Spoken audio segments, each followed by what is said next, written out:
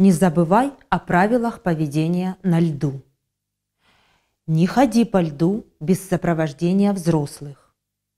Идти по льду лучше в том месте, где есть свежие следы. Нельзя собираться группами в одном месте.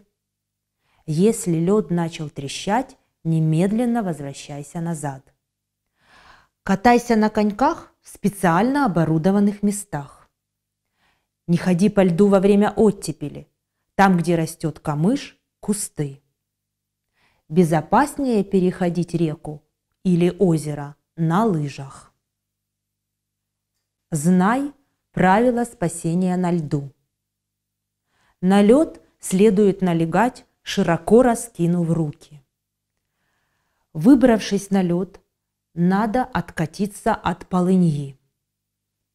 Чтобы помочь тому, кто попал в прорубь, надо подползти к пострадавшему на расстоянии 3-5 метров, протянуть ему лыжу, шарф, палку или ремень.